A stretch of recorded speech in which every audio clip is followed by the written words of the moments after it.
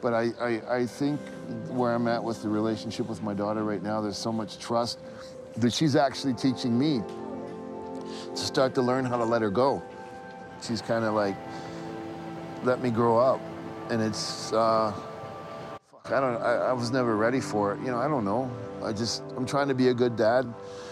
And it's tough. It's gotta be tough for her to have Vampiro as a father, I think.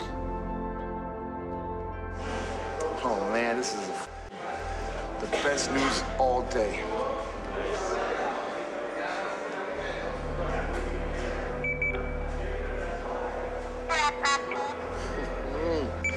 Hola, Dasha. ¿Cómo estás, bebé?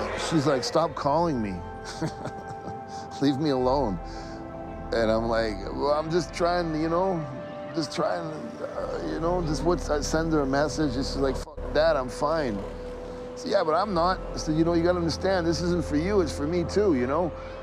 I'm, I'm, I'm on all this fucked up stuff that I do, it's so that you're gonna be okay. She goes, well, then let me be okay. And I'm like, "Okay, okay. it's weird. It's weird.